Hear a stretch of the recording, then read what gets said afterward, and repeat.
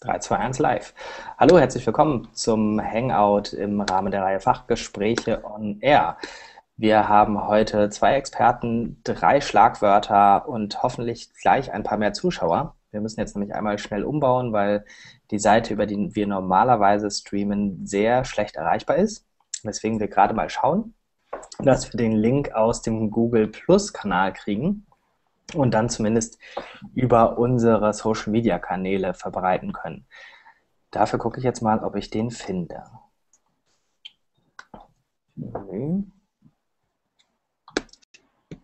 So.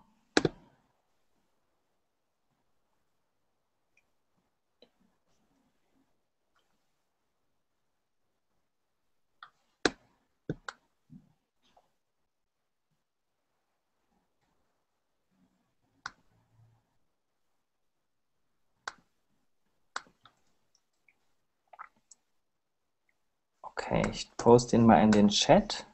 Und wenn ihr mögt, könntet ihr damit jetzt nochmal eure Social Media Kanäle bedienen.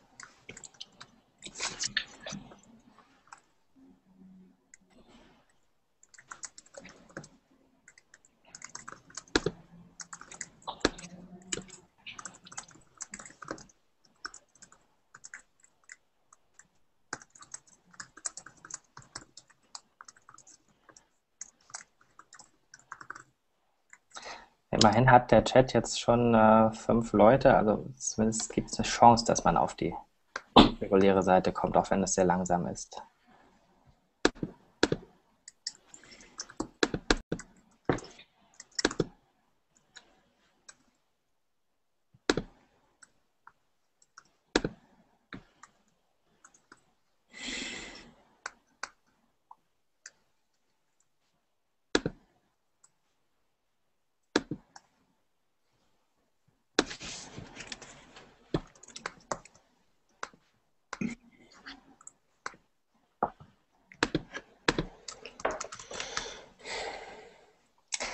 Hatte viel tippen. So. Also zumindest geht es technisch, weil wir sehen jetzt hier schon zumindest einen Viewer auf dem Kanal. Wir sehen im Live-Room auf collaboratory.de fünf Zuschauer. Und wie wir Pädagogen gerne sagen, die, die da sind, sind immer die richtigen. Also fangen wir an. Nochmal für alle, die neu dazugekommen sind, die Begrüßung zum Hangout Fachgespräche on Air zum Thema offenes Wissen mit Open Access und Open Educational Resources. Also drei riesige Schlagwörter auf minimalen Platz in einer Überschrift untergebracht. Das können wir hoffentlich jetzt sortieren mit Hilfe von zwei Experten. Wir haben Christian Heise von der Uni Lüneburg dabei, Leuphana Universität Lüneburg und äh, Dr. Markus Daimann von der Fernuni Hagen. Ich würde die beiden gleich als erstes bitten, sich selber vorzustellen. Ich möchte vorher noch kurz zum Hintergrund dieser Reihe insgesamt erklären. Die Fachgespräche on Air sind ein Ergebnis aus der Initiative Lernen in der digitalen Gesellschaft, gestartet vom Collaboratory Ende des Jahres 2012. In dieser Initiative haben über 30 Experten aus ganz verschiedenen Bereichen diskutiert, wie Lernen in der digitalen Gesellschaft aussehen kann. Ende Januar sind wir damit fertig geworden.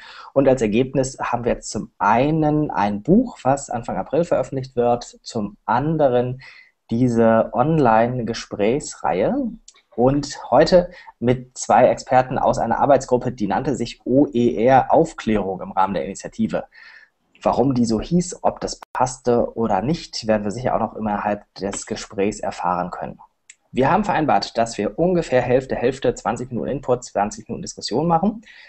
Der Input läuft äh, direkt über Christian Heise und Markus Daimann, werden wir gleich hören und hoffentlich ein paar Folien dazu sehen. Und wenn Sie jetzt nicht die Aufzeichnung sehen, sondern live dabei sind, können Sie auch Fragen stellen über den Chat oder über die Kommentarfunktion. In den ersten 20 Minuten äh, sammle ich die Fragen oder Beiträge und ansonsten danach können wir das gleich live für die Diskussion nutzen. Aber fühlen Sie sich frei, den Chat auch schon vorab zu nutzen für eigene Gedanken zwischendurch, die Sie mit den anderen Zuschauern und Teilnehmenden teilen wollen. Jetzt geht's los. Ich bin gespannt. Bitte unsere beiden Experten sich zunächst kurz selber vorzustellen und dann mit der Präsentation zu starten. Markus, ich würde sagen, du fängst an, ne?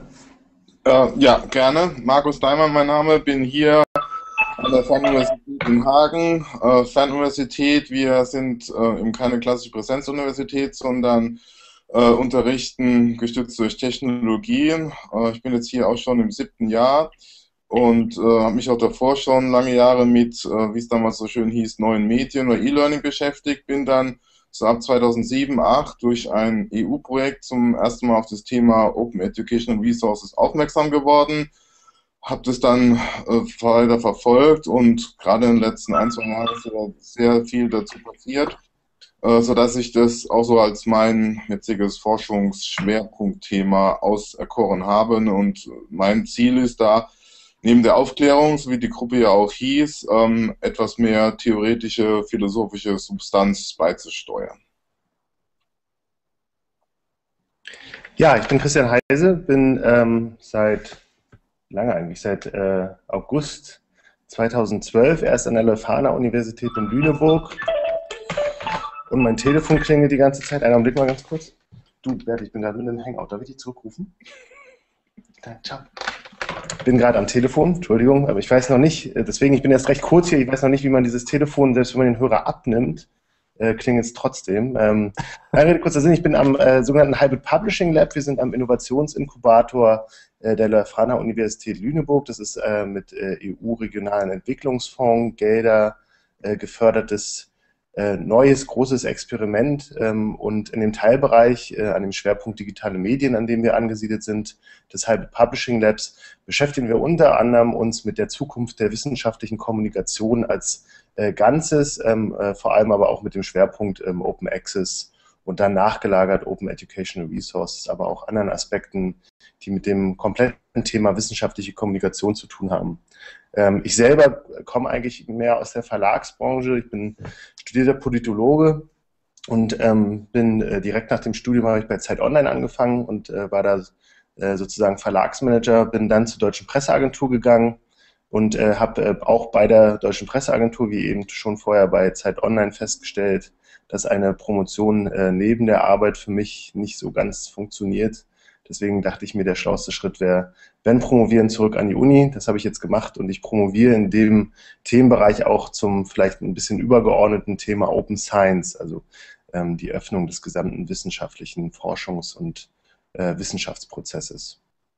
Aber ich glaube, dann äh, können wir auch schon fast direkt einsteigen, oder Jöran?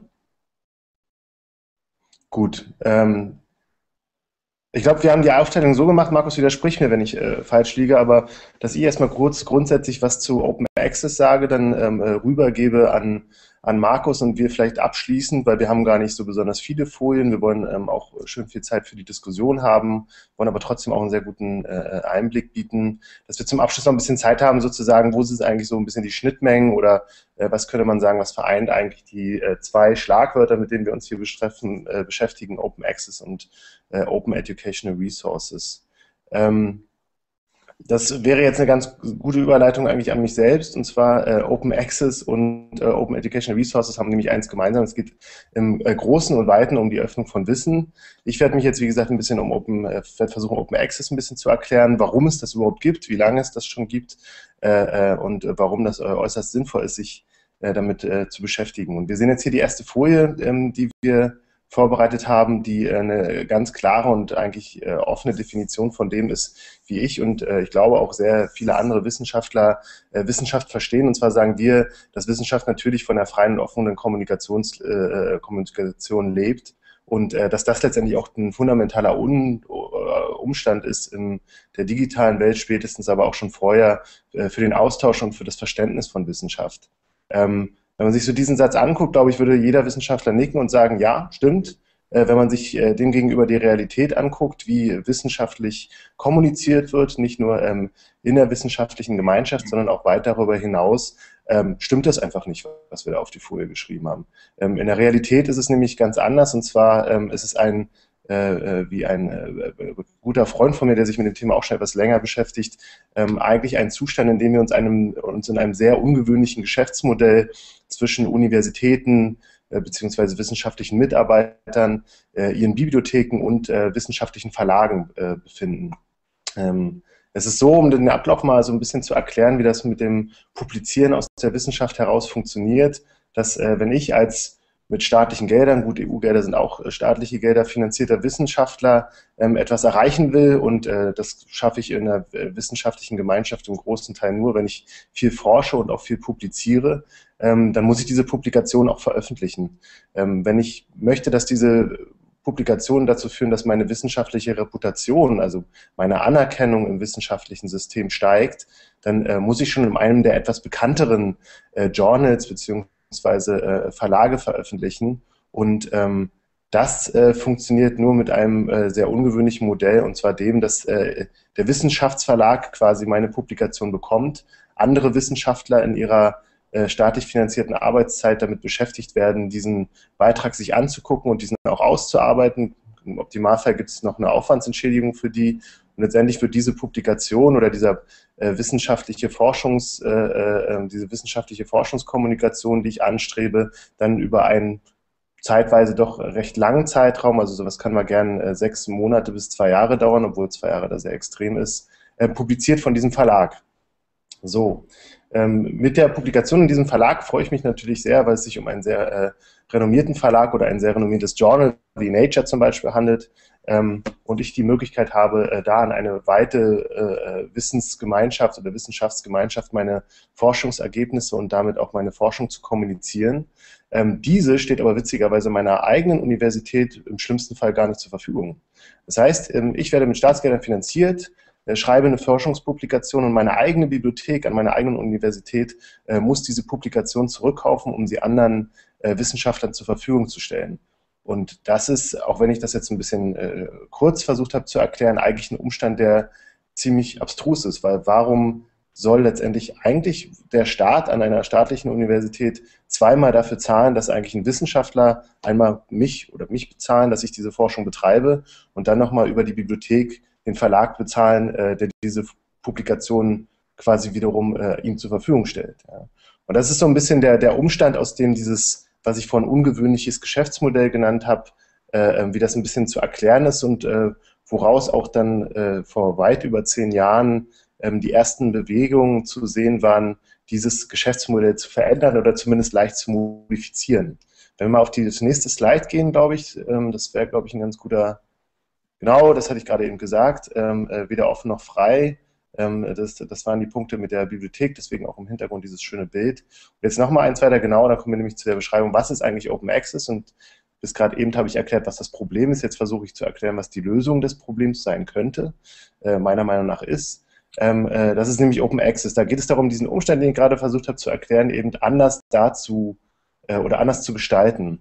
Ähm, um es vom Vorhinein zu sagen, und ich hoffe, ich bin jetzt nicht zu weit äh, ähm, ins, ins Detailwissen schon reingegangen und ich hoffe, alle konnten mir folgen, geht es nicht darum, bei Open Access Verlage zu eliminieren. Also es geht nicht darum zu sagen, hey, äh, Open Access, deutsch übersetzt offener Zugang, äh, alle Publikationen, die wir als Wissenschaftler im Rahmen einer staatlichen Förderung äh, machen, sollen jetzt komplett ohne Lage, Verlage publiziert werden. Die Verlage haben ihre Daseinsberechtigung. Ich glaube, da wird Markus vielleicht später auch nochmal was im Rahmen von Open Educational Resources sagen.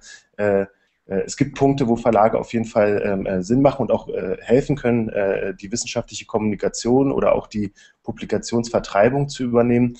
Ähm, aber meines Erachtens, und das ist immer das Schlagwort, was ich da gerne einführe, nicht mit einer Gewinnmargin, die äh, höher ist als die von Apple. Ja, ähm, das ist, äh, glaube ich, nicht der richtige Weg. Deswegen sage ich und auch viele andere, ähm, Open Access als offener Zugang zu öffentlich finanzierten wissenschaftlichen Publikationen muss kommen und kann auch mit Verlagen kommen. Die müssen aber eben ihr Geschäftsmodell äh, äh, dort ein bisschen ändern. Ja? Und ähm, das ist so ein bisschen die Frage und die Krux, ähm, mit der sich viele Leute jetzt, wie gesagt, seit über zehn Jahren, als das Thema durch die äh, Budapest Open Access Initiative das erste Mal so erklärungstechnisch erfasst wurde, ähm, äh, ähm, ist, ist so ein bisschen das Ziel, worauf wir eben abzielen. Die Idee dahinter ist eben zu sagen, dass man Publikationen, äh, wenn äh, meine Arbeitszeit durch öffentliche Gelder finanziert wird, sofort im Optimalfall, das ist der sogenannte äh, goldene Weg, ähm, der grüne Weg wäre nach sechs Monaten, äh, jedem frei zur Verfügung stellt. Und frei beziehungsweise Schrägstrich offen heißt in dem Fall wirklich offen nach der Open Definition. Das heißt, die einzige Bedingung, die an diese Dokumentation oder an meine Kommunikation geknüpft ist, ist halt ein, eine Namensnennung. Ähm, alles andere sollte aber frei sein. Und äh, darum geht es äh, im Großen und Ganzen bei den Veränderungsprozessen rund um Open Access. Das heißt, um wieder, wenn wir wieder zu dem Modell vorhin zurückkommen, wo ich publiziere, äh, zu einem Wissenschaftsverlag gehe, ähm, dieser diese Publikation erstellt und vertreibt ähm, und dann wiederum an meine Uni äh, verkauft, dass dieser Weg äh, geändert wird. Insofern, dass ich sage, ich publiziere, ich publiziere mit dem Verlag Open Access und da kommen jetzt die Verlage wieder ins Spiel. Die Verlage helfen mir bei, der bei dem Vertrieb und bei der Erstellung meiner Kommunikation, aber auch bei der Überprüfung der äh, wissenschaftlichen Richtigkeit meiner Publikation, äh, werden aber entweder von mir beziehungsweise aus meinem Forschungsprojekt im Vorhinein bezahlt ähm, und müssen die Publikation am Ende dann aber offen jedermann und äh, jederzeit über die Open Definition definiert offen zur Verfügung stellen. Ähm, das ist so ein bisschen äh, ähm, der Weg. Da würde jetzt jeder Wissenschaftler ausschreiben und sagen, hey, stopp, äh, warum äh, muss ich denn jetzt eigentlich dafür zahlen, dass publiziert wird? Weil, und da kommen wir nochmal zurück, es geht nicht um den ähm, um die, äh, um die, die komplette Ausmetzung des Verlagsgeschäftsmodells, sondern es geht eben darum, um äh, das Geschäftsmodell insofern zu ändern, dass jeder Bürger, der mit seinen Steuergeldern Wissenschaft finanziert, die Möglichkeit hat, jederzeit und recht schnell auf äh, wissenschaftliche Publikationen, die in diesem Forschungsprozess entstanden sind, zuzugreifen. Und äh, das hat für mich auch ein bisschen was mit Gerechtigkeit zu tun, hat äh, im Großen und Ganzen, und das ist der äh, Kern- und äh, Angelpunkt, glaube ich, bei äh, Open Access und aus meinem Verständnis, und dann leite ich auch gleich weiter rüber zu Markus, für Open Educational Resources die Lizenzenfrage. Und die können letztendlich, kann nur zusammen mit den Verlagen erarbeitet werden. Ähm, aber Wissenschaft muss frei sein, Wissenschaft muss offen sein, äh, Wissenschaft muss für jeden verfügbar sein, ähm, der letztendlich spätestens durch Steuergelder, also spätestens wenn staatlich äh, Finanzierung mit drin ist, ähm, äh, muss davon partizipieren können.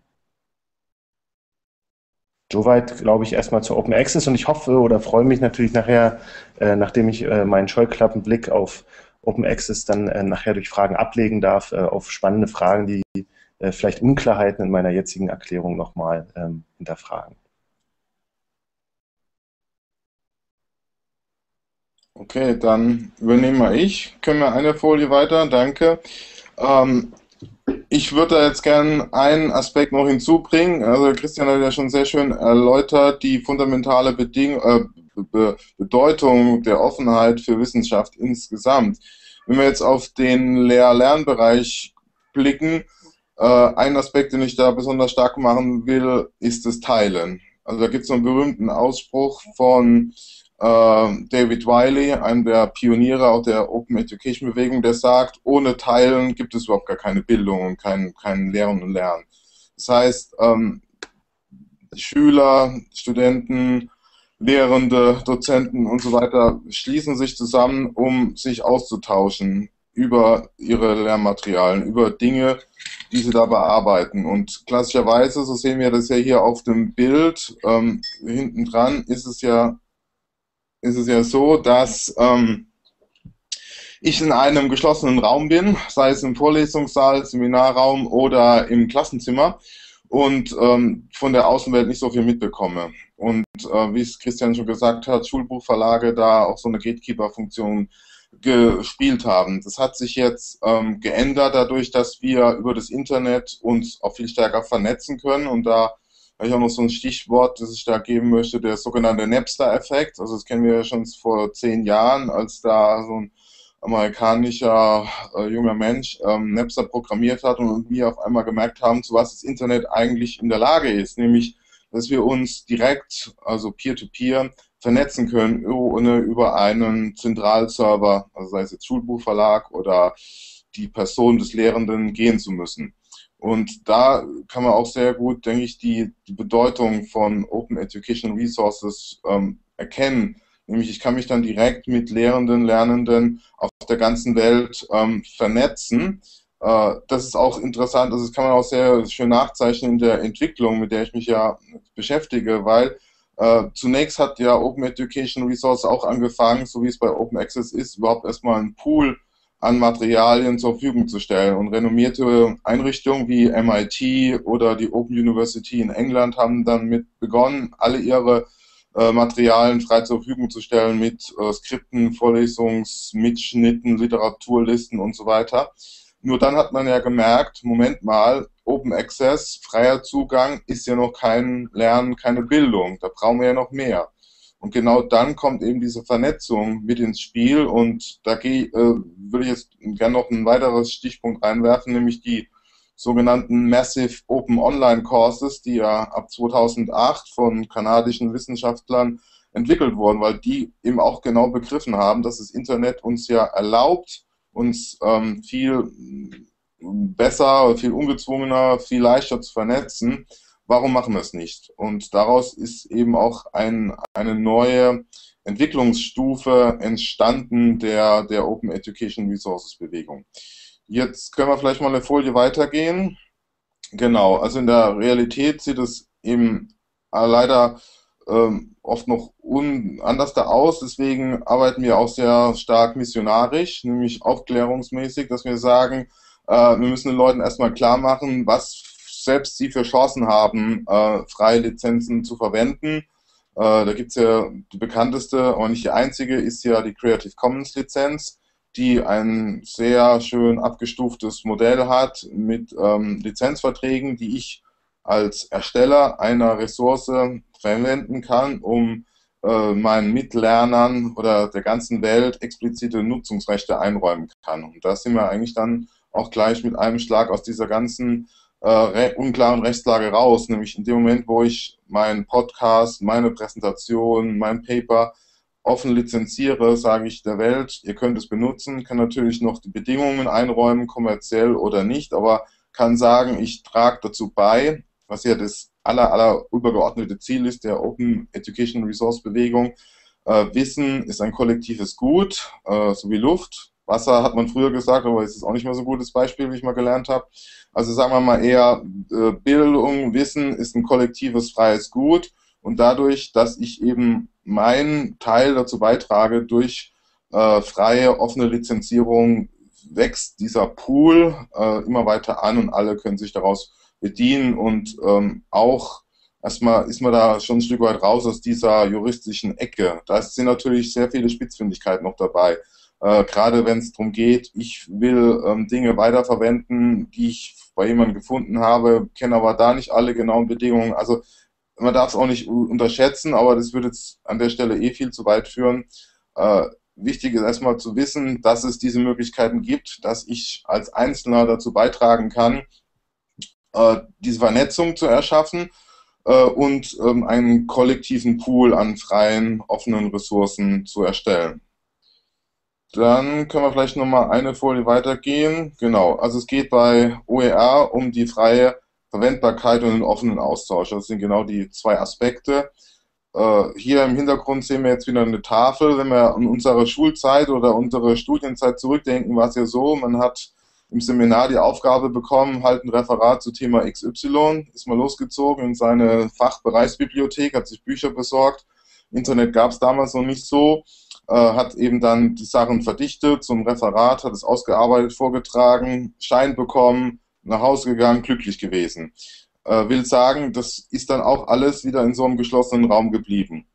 Heute durch das Internet habe ich erstmal die Möglichkeiten, auf viel mehr Ressourcen zuzugreifen. Wie die Qualität da ist, das sage ich dann, das ist jedem selbst überlassen, auch das herauszufinden, ob das jetzt wissenschaftlich ist oder nicht. Aber der Punkt ist, dass ich einfach viel mehr Möglichkeiten habe, Wissen, Ressourcen zu finden. Kann dann also dadurch mein Referat erstellen, diskutieren und danach nicht nur im geschlossenen Raum äh, lassen, sondern das ist ja auch eine dieser MOOC, also dieser klassischen MOOC-Prinzipien, nämlich äh, Feed Forward. Das heißt, behalte es nicht auf deinem lokalen Rechner, auf deiner Festplatte, sondern stell es online irgendwo, äh, sodass die Welt drauf zugreifen kann. Und dann haben wir schon wieder diesen Austausch und gewissermaßen schließt sich dann auch der Kreis, weil je mehr ich reinstelle, desto größer ist auch die Chance, dass andere was Passendes für sich finden. Also ist ja auch so dieser Longtail-Effekt, den Anderson schon vor ein paar Jahren da prognostiziert hat, ist schon ein Stück weit eingetreten.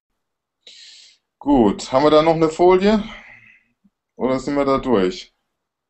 Okay, also ich denke, ähm, dass diese zwei zentralen Aspekte, also nochmal zusammengefasst, von Christian eingeführt, die besondere Bedeutung von Open Access, also wirklich auch die, der freie äh, Zugang, aber auch die Verwendbarkeit. Und das leitet dann auch wieder über zu Open Educational Resources, weil wenn ich lernen will, dann muss ich die Dinge auch bearbeiten, verändern, äh, Mesh-up und so weiter machen, also dass ich da ein Produkt erstelle, das, so wie es klassischerweise früher auch das, das Seminarpapier war oder die Präsentation.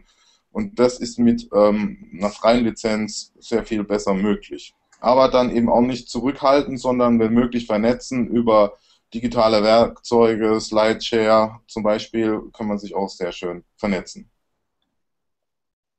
Genau, also ich glaube, das, das, das, was Markus sagt, ist äh, genau der spannende Punkt. Also eigentlich gibt es bei beiden Bewegungen, Schrägstrich Bestrebungen, recht klare, eindeutige Ansätze, die äh, bei beiden gleich sind. Äh, äh beide äh, kämpfen ganz viel mit Lizenzen umher. Ähm, beiden geht es ganz viel um äh, Weiterverwendung und äh, Weiterbearbeitung. Und ähm, letztendlich ist es aber so, dass diese beiden Bewegungen bisher zumindest geführt und vor allem auch in Deutschland ein bisschen getrennt ablaufen. Von daher ähm, äh, kann man an dem an der Stelle auch äh, nur noch mal sagen, dass auch wenn die Zielgruppe vielleicht beider Bewegungen unterschiedlich sind, Open Educational Resources im Sinne von Schule, von Lehr-Lernmaterialien, aber auch von äh, Lernmaterialien an Universitäten und Open Access eigentlich mit einem ganz klaren Fokus auf äh, wissenschaftliche Publikation und Reputation in einem äh, fast wissenschaftlich geschlossenen Informationskreis, dass beide aber durch die beiden Grundsatzbedingungen äh, in Zukunft ganz klarer als Bewegung stärker äh, zusammenarbeiten sollten, spätestens auch aus dem Aspekt, den Markus so schön erläutert hat, ähm, wenn die Tafel weiß bleiben muss, weil ähm, im Sinne der Wissenschaft keine ähm, Informationen zur Verfügung stehen, die frei verwendet werden können, die dann wiederum an Schulen oder auch an Universitäten gelehrt werden können, äh, dann hat unser Bildungssystem noch das, gleich das nächste Problem. Vielen herzlichen Dank erstmal für euren Input. Wir haben schon eine ganze Reihe von Fragen auf den verschiedenen Plattformen gesammelt. Ähm, für alle diejenigen, die es jetzt noch live schauen und eine Frage loswerden wollen, im Live-Forum auf collaboratory.de schaue ich, ob da Fragen sind und unterhalb des YouTube bzw. Google Plus Streams auch. Und wer jetzt seine Frage nicht äh, hier wiederfindet, möge bitte nochmal auf einem der Kanäle Bescheid sagen. Dann sammeln wir die auch noch ein. Drei Fragen, die sich alle erstmal auf den Bereich Wissenschaft beziehen. Und zwar zunächst schrieb Lore Rees, die Bezahlung der Publikation von öffentlich geförderten Arbeiten muss im Projekt enthalten sein. Richtig verstanden? Und dazu nehme ich gleich eine zweite Frage von Dennis Schäffer, die dazu passt. Gibt es eine ungefähre Hausnummer, was mich das als Projekt kosten würde, wenn ich den Verlag quasi nur als Dienstleister einkaufe? Zwei Fragen, die sehr gut zusammenpassen, weil es ähm, in Deutschland eine schöne Antwort darauf gibt. Äh, ja, äh, am besten sollte bei der Antragsschreibung und bei der Forschung berücksichtigt werden, dass Publikationskosten anfallen. Das ist jetzt zum Teil schon der Fall. Die wären natürlich höher im Bereich von äh, Open Access, weil der Verlag natürlich dann zu Recht auch behaupten wird, äh, dass er diese offenen Publikationen äh, nicht mehr so schön verkaufen kann, was vor allem bei äh, dem goldenen Weg, also der sofortigen Veröffentlichung der Publikation, der freien Veröffentlichung der Publikation der Fall ist. Aber die DFG bewegt sich, das ist die Deutsche Forschungsgemeinschaft schon seit Jahren in dem Bereich ähm, Open Access, was überraschenderweise gar nicht viele Universitäten in Deutschland nutzen. Und zwar ist es so, dass die bei einen sogenannten ähm, Open Access Fonds haben. Das bedeutet, sie übernehmen, wenn die Uni bei der DFG bei diesem Fonds mitmacht, 75 Prozent der Publikationskosten, was äh, eigentlich recht viel ist und äh, in einigen Fällen, glaube ich, auch dafür ausreichen sollte, ähm, die, das restliche zusätzliche Geld, was für eine Open Access Publikation notwendig ist, ähm, äh, doch sehr elegant auch über die DFG aufzutreiben. Und eine Publikation an sich ist es gibt keinen Einheitswert, weil es auch über die unterschiedlichen äh, äh, Wissenschaften unterschiedlich stark verteilt ist. Es gibt auch unterschiedliche Publikationsarten, also von der Monographie über ein Journal-Artikel, über äh, Datenpublikationen. Ähm, aber das kann sich bewegen zwischen 500, die man bei Open Access Verlagen äh, wie äh, PeerJ oder ähm, äh, Plus One bezahlt, bis hoch zu 3000 Euro. Und die DFG übernimmt, äh, wie gesagt, glaube ich, 75 Prozent muss jetzt lügen, das kann man aber auf der DFG-Seite auch nachprüfen, glaube ich, bis maximal 2500 Euro oder sowas in den Dreh. Also von diesem Aspekt her, ja, man muss es mitdenken, zukünftig auch. Ich glaube, dass, äh, dass äh, ähm, man hier auch ganz doll aufpassen muss, dass die Verlage jetzt nicht ein neues, ungewöhnliches Geschäftsmodell entwickeln im Rahmen der ähm, Publikationskostenübernahme durch den Forschenden oder die Forschungsinstitutionen. Ich glaube auch, dass die Universitätspressen oder die, die Universität an sich sich nochmal überlegen muss, ob sie äh, ihr abgegebenes Monopol im, äh, in dem Bereich äh, Universitätspresse und Druck von eigenen Büchern nicht wieder aufnehmen oder sich zumindest damit beschäftigen. Es gibt viele Bestrebungen mit äh, Open Access Verlagen in Deutschland, unter anderem auch an der Uni Hamburg zum Beispiel. Ähm, ich glaube aber, dass, äh, äh, dass das alles Punkte sind, die man von vorne hinein mit berücksichtigen sollte und wo auch die Rahmenbedingungen seitens des Gesetzgebers so perspektivisch geändert werden sollten, wie es in anderen Ländern jetzt schon der Fall ist, wo sobald staatliche Finanzierung mit drin ist, die äh, Institutionen dazu überredet werden sollten, sagen wir so. Nicht gezwungen, aber überredet werden sollten oder mit Anreizen äh, versehen werden sollten, wenn diese ähm, Open Access publizieren, und zwar im Optimalfall Gold und nicht nur äh, äh, grün, was äh, eben bedeuten würde, dass ein bisschen zeitlicher Verzug drin ist und äh, damit Verlage eben auch noch äh, über diesen Verzug natürlich Geld verdienen können. Ich hoffe, das war eine gute Beantwortung für die sehr gute Frage. Das waren äh, hervorragende Antworten auf die zwei Fragen. Ich habe noch zwei weitere. Ich stelle sie mal nacheinander. Ähm, wir gucken erstmal auf die eine, die ist auch von Dennis Schäffer. Äh, gibt es eine Empfehlung für die Wissenschaft, welches freie Lizenzgefüge sich am ehesten eignet? Also ist Creative Commons nur das bekannteste oder auch das Mittel der Wahl?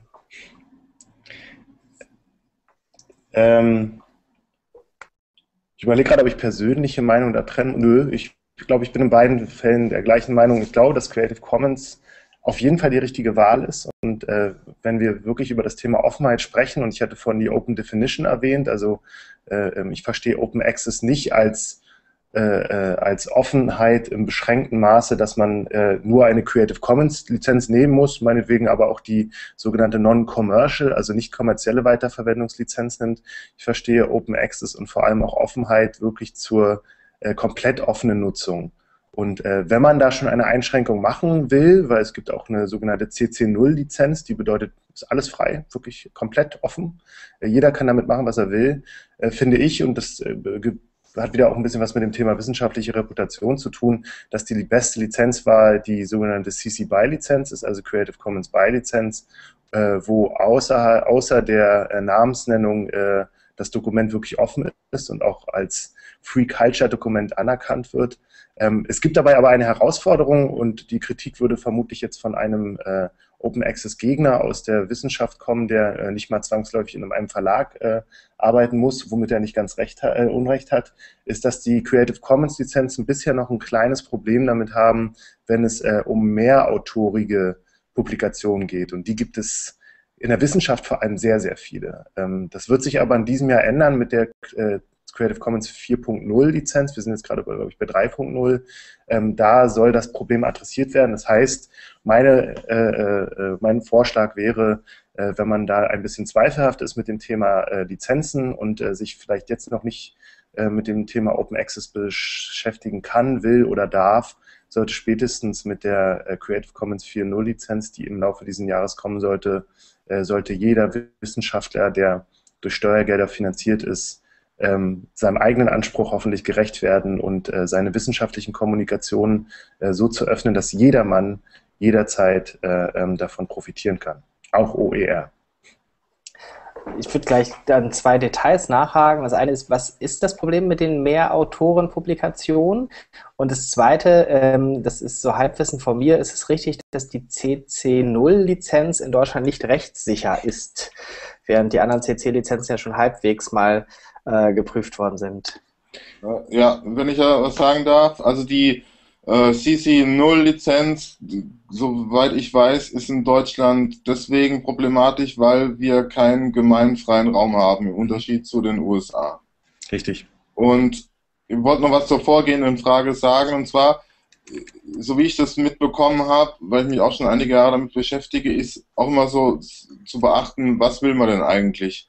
Und bei diesen ganzen, also Frage, ist jetzt Creative Commons das Maß der Dinge, die Wahrheit, sollte man immer genau bedenken, äh, was will ich erreichen? Also geht es um Offenheit oder geht es um Verbreitung, geht es um äh, Bekanntwerden, also Marketing und nur exemplarisch dazu die Diskussion um die Verwendung der NC, also Non-Commercial äh, Lizenz. Da gab es große Diskussionen, äh, weil eigentlich würde man denken, ich will äh, nicht, dass meine, also wenn wir jetzt wieder für den Open Education Resource Bereich sprechen, ich will nicht, dass meine Lehrmaterialien von irgendwelchen Unternehmen kommerziell genutzt werden, also mache ich NC.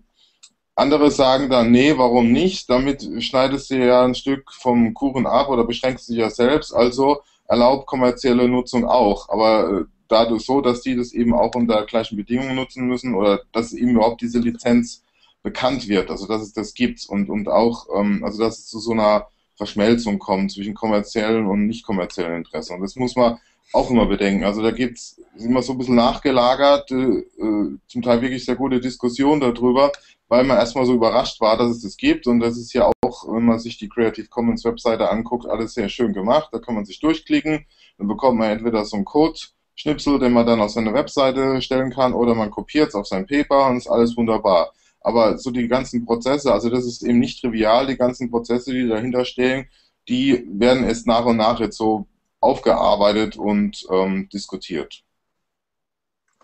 Dazu ähm, kommt ja auch nochmal der Umstand bei der äh, nicht kommerziellen Nutzung, dass das nach meinem Wissen nach EU-Recht ganz, ganz schnell greift. Also ich las von dem Beispiel, dass auch schon, wenn ich diese Texte drucke und dann einfach nur zum Druckkostenpreis weitergebe, äh, unter, kommerzielle Nutzung gefasst werden würde. Äh, ich würde gerne noch einmal die zweite, zweiten Teil der Frage aufgreifen. Wie ist es mit der Mehrautorenschaft? Warum ist das problematisch? Es ist, hat zum Teil auch ein bisschen was mit ähm, sehr rechtlichen, also gibt es auch eine, eine ganz äh, große Debatte dazu jetzt im Rahmen der Neuerstellung und vor allem der Verallgemeinheitlichung von Creative Commons. Ähm, aber es hat was mit äh, rechtlichen Aspekten zu tun, dass eine unterschiedliche Auswahl von Lizenzen über mehrere Autoren bisher noch nicht wirklich gut möglich ist.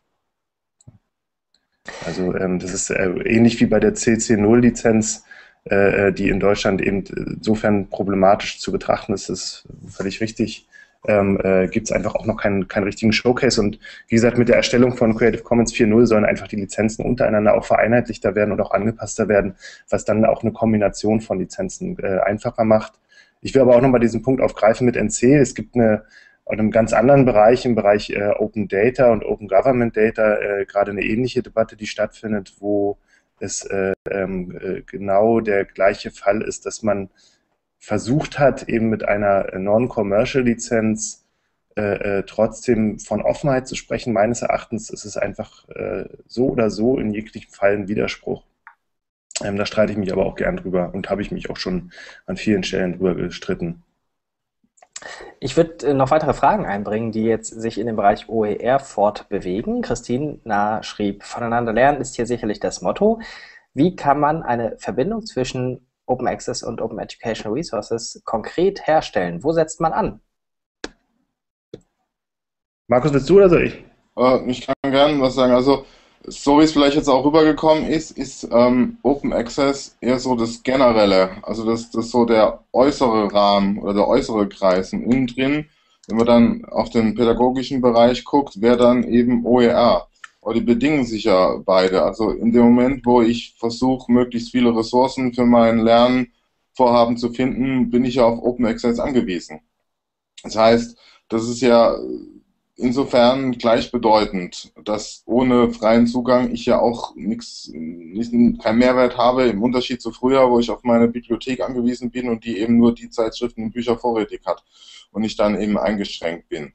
Das heißt, man sollte sich da dafür einsetzen, dass, ähm, das natürlich sehr schwer ist, das weiß ich aus eigener Erfahrung, Lehrende dazu zu ermutigen, eben äh, offene Lizenzen zu nutzen, einen Pool aufzubauen. Also wir haben zum Beispiel bei uns hier im Institut so eine kleine Zeitschrift oder für interne Schriftenreihe heißt die, ähm, die eben auch unter einer freien Lizenz steht. Und das sind aber so ganz kleine Ansatzpunkte, aber wenn man eben versucht, ähm, das so einen Pool aufzubauen an Materialien, wo sich jeder dran bedienen kann. Da ist technisch natürlich noch sehr viel möglich, dass man über Plugins ähm, arbeitet, die dann auf LMS wie Moodle äh, integriert sind und ich dann per äh, Mausklick dann da mal eine Präsentation reinstellen kann in so einen Pool. Ja, und ich äh, glaube einfach auch, dass bei dem äh, Thema Aktivismus rund um die Bewegung und auch die vielen Probleme, die im äh, äh, Schulalltag äh, ähm, auch mit dem Auslauf, glaube ich, des Paragraphs 52 ja im weitesten Sinne entstehen, auch wenn es alles irgendwie so eine Grauzone ist. Ähm, ich glaube, dass diese Bewegungsschiene und vor allem der Aktivismus hin zu offenen Wissen, und das ist, was die beiden einfach wirklich als Überbegriff ja auch eint, ähm, dass man einfach stärker zusammenarbeiten muss. Es gibt eine ganz, meines Erachtens Deutsch, für deutsche Verhältnisse sehr starke OER-Bewegung. Ich war ähm, überrascht, als ich auf dem OER-Camp in Bremen war. Ähm, wie viele Leute aus den unterschiedlichsten Bereichen, die sich mit Wissen beschäftigen, äh, ähm, äh, dort äh, zu dem Thema äh, zusammengearbeitet haben und auch zusammen besprochen haben, wie die Zukunft aussieht. Ehrlich gesagt habe ich von diesen Leuten in meinem Uni-Alltag und auch im Rahmen von Open Access noch nie was gehört. Ähm, was wirklich ihr Recht ist, weil sie natürlich in einem ganz anderen Umfeld unterwegs sind und sich eben wirklich mit Lehr Lernmaterialien beschäftigen. Auf der anderen Seite finde ich es auch schade, weil ehrlich gesagt fordern wir so ein bisschen das Gleiche. Wir fordern offene Lizenzen, wir fordern offenes Wissen ähm, äh, und offene Kommunikation, äh, dass das Zielprodukt vielleicht ein unterschiedlich ist. Es sollte äh, da nichts ähm, oder sollte, sollte nicht Halt machen bei äh, einer gemeinsamen, äh, äh, ähm, gemeinsamen aktivistischen Auseinandersetzung mit dem Thema offenes Wissen. Ich, ja. Daran in Anschluss würde ich gerne eine Frage von Armin Kage einbringen, ähm, der gleich zwei Fragen, beziehungsweise eine Frage und einen Kommentar einbringt. Er schreibt, für mich als normalen Lehrer gibt es im Wesentlichen zwei Zugangsbarrieren für eine Mitarbeit an OER. Erstens, wo überhaupt den Einstieg finden? Wo kann ich mich konkret und effektiv beteiligen? Und zweitens, Sorge um ungewollte Urheberrechtsverletzungen bremsen mich aus. Markus, willst du? Ja, äh, als Einstieg, äh, um sich zu orientieren, es gibt eine, eine, sehr schöne Plattform, die heißt ZUM Wiki, äh, Zentrum für Unterrichtsmedien die ähm, äh, angetreten ist, ganz, aus ganz vielen verschiedenen Fachbereichen Material zusammenzustellen. Äh, da gibt es komplette Dokumentationen vom Physikunterricht, zum Beispiel siebte, achte Klasse. Also da findet man äh, nicht nur Material, sondern auch, denke ich, gute Vernetzungsmöglichkeiten. Ich finde, das, das, ist ein wesentlicher Punkt, den ich habe den Namen jetzt nicht ganz verstanden, anspricht. Das Gleiche Problem gibt es bei dem Thema Open Access zum Teil auch. Es gibt diverse Einstiegspunkte, die ich jetzt aufzählen könnte. Es ist aber schwierig, glaube ich, für den Wissenschaftler im Alltag, genau vermutlich wie für den Lehrer im Alltag, ähm, den Einstiegspunkt zu finden, äh, ohne jetzt zu viel über Lehrer sprechen zu wollen, weil da kenne ich mich zu wenig aus, aber der einem wirklich die Gesamtkomplexität des Themas bewusst macht. Ähm, äh, es gibt, muss ich wieder einen kleinen Ausweich zum Thema Open Government Data machen. Da gibt es so einen schönen Open Data Showroom, ähm, der mal zeigt, was eigentlich so möglich ist und was in anderen Ländern auch gemacht wird. Ähm, bei OER und vor allem bei Open Access sind mir diverse Seiten, die sowas ansatzweise tun, äh, äh, bekannt, aber es gibt jetzt nicht, ähnlich wie bei Creative Commons zum Beispiel, eine Seite, die einem wirklich eigentlich das Thema in seiner Gänze klar macht und vor allem auch direkte Handlungsmöglichkeiten anbietet. Das ist ähnlich wie dieses Plädoyer, was ich gerade versucht habe zu halten, äh, für eine äh, gemeinsame Bewegung, glaube ich, auch ein Ansatzpunkt, wo man vielleicht darüber nachdenken könnte, ähm, äh, auch die Gemeinsamkeit der beiden Themen auf einer Plattform als Showcase mal zur Verfügung zu stellen, um Lehrern, aber auch Wissenschaftlern den Mehrwert ihrer Arbeit nochmal aufzuzeigen. Äh, noch dazu kommt, dass es ja politisch ein heiß diskutiertes Thema ist. Also gerade der Schulbereich, äh, wo ja im Moment politisch einiges passiert, also Stichwort nur irgendwie ähm, Expertenanhörungen, ja. äh, wo eben Schulbuchverlage also mit, mit, mit starken Interessen, starken ökonomischen Interessen auftreten, natürlich viel dafür tun, dass die OER-Bewegung äh, nicht weiter wächst, also da jetzt nicht gerade mit der Gießkanne hergeht und versucht, die zarte Pflanze zu gießen, sondern eher versucht sie zu beschneiden und äh, ja, so vielleicht ein bisschen mit der Unsicherheit hausieren geht, um zu sagen, wir brauchen eine zentrale äh, Anlaufstelle, wir brauchen einen TÜV und die Schulbuchverlage sind da unentbehrlich dafür. Und diese ganze, so wie es in den USA oder in Polen auch versucht wird, diese ganze Bewegung hin zu freien, offenen Textbüchern dann von vornherein zu untergraben. Das macht natürlich vom Klima her dann die Sache nicht leichter. Hm. Und die Schulbuchverlage war auch das war, was ich vom OER-Camp mitgenommen habe, sind ja äh, natürlich auch nicht blöd. Die Plattformen, die die aufbauen, sind weitaus endnutzerzentrierter ähm, als vermutlich das äh, OpenAccess.net Wiki oder die OpenAccess.net Seite ähm, äh, oder eine Barcamp-Seite. Ja. Also, ähm, ich glaube, dass das schon, wenn man wirklich von einer Bewegung sprechen will und äh, ähm, es gibt an der Uni Bremen einen Studenten, der gerade zu dem Thema auch eine Masterarbeit schreibt, wo es um das Thema, äh, kann man überhaupt in dem Bereich von einer Bewegung sprechen, schreibt, ähm, wenn es eine wirklich klare Bewegung geben würde, wäre es schön, wenn die die Möglichkeit finden würde, ähm, vielleicht zusammen mit Open Access und OER ähm, sich nochmal darüber Gedanken zu machen, wie man das Thema in der Lebenswirklichkeit der Menschen vermittelt und nicht nur in einer sehr technischen oder äh, äh verwaltungstechnischen Debatte oder nur einer rein politischen Debatte, sondern wirklich äh, in so einer äh, Lebenswirklichkeitsdarstellung. Das fällt mir immer wieder auf, bei ganz vielen Bereichen aber auch. Ich finde, das ist ein traumhaft schönes Schlusswort, was äh, Christian Heise gerade gesprochen hat. Ich würde mich ganz herzlich bedanken bei allen, die trotz der widrigen Umstände mitgeschaut äh, und mit kommentiert und mit gechattet haben. Ich möchte mich ganz besonders bei Christian Heise und Markus Daimann bedanken für ihre Expertise, dafür, dass sie dabei waren und möchte noch Werbung machen für alle diejenigen, die sich weiterhin für das Thema Lernen in der digitalen Gesellschaft interessieren. Es gibt weitere Fachgespräche als Hangout on Air. Wir veröffentlichen die Termine, beziehungsweise sie sind sogar schon veröffentlicht auf collaboratory.de slash kleines w slash Hangout-Reihe. Und wenn Sie das erst in der Zukunft sehen, weil Sie es als Aufzeichnung sich anschauen, dann finden Sie dort schon alle Aufzeichnungen der bisherigen Gespräche. Es war sehr spannend. Vielen Dank in alle Richtungen und alles Gute. Bis bald. Vielen Dank. Danke.